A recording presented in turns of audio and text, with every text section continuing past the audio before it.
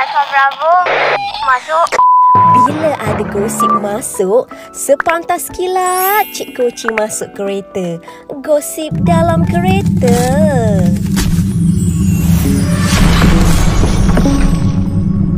Kedekut like dan share tau.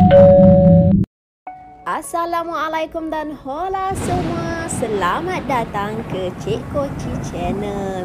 Jom jom hari ni kita nak cerita mengenai Anju lagi. Ha ha, hari ni kita nak tengok peminat letak syarat pada Zarina Anjoli untuk berkahwin. Ini syarat yang mengejutkan itu. Petaling Jaya, nama selebriti sensasi Zarina Anjoli tidak pernah sepi daripada menjadi bualan netizen dalam media sosial.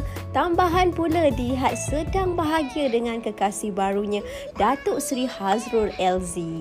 Meskipun sebelum ini pemilik nama Zarina Anjoli Lavokah Muhammad Fahizul atau mesra disapa Anju itu memperkenalkan lelaki berstatus Datuk Seri tersebut sebagai guru renang anak lelakinya, namun kini hubungan istimewa mereka bukan lagi rahsia.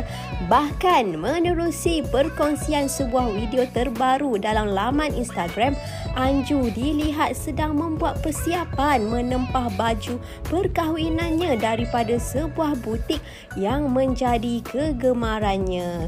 Perkongsian tersebut sekaligus membayangkan perancangan ibu tunggal anak satu itu menamatkan zaman solo semakin hampir.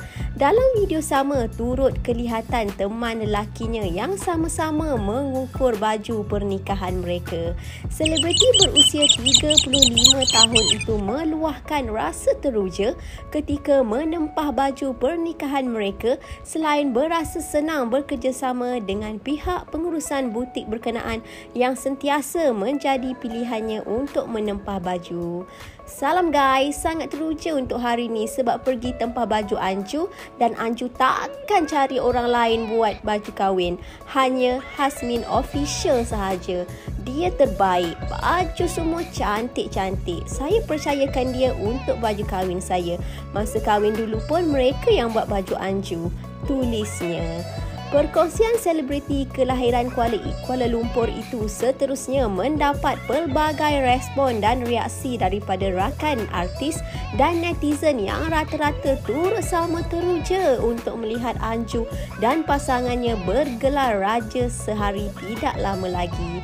Tahniah Anju, tidak sabar untuk melihat Anju di hari bahagia nanti. Saya doakan segalanya dipermudahkan dan semoga Allah pelihara Anju dan bakal suami sekeluarga. Tulis mengikutnya di Instagram. Tahniah Anju, ikut lama dah Anju. Suka sangat tengok awak yang sekarang. Moga awak dan pasangan kekal hingga ke syurga Allah. Sangat lembut tengok penampilan awak sekarang. Semoga dipermudahkan segala urusan. Komen pengikutnya yang lain.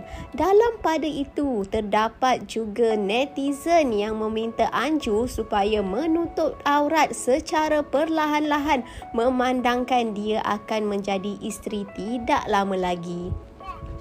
Moga Anju turut tutup aurat dan minta suami bimbing awak hingga mendapat redha Allah. Komen netizen itu.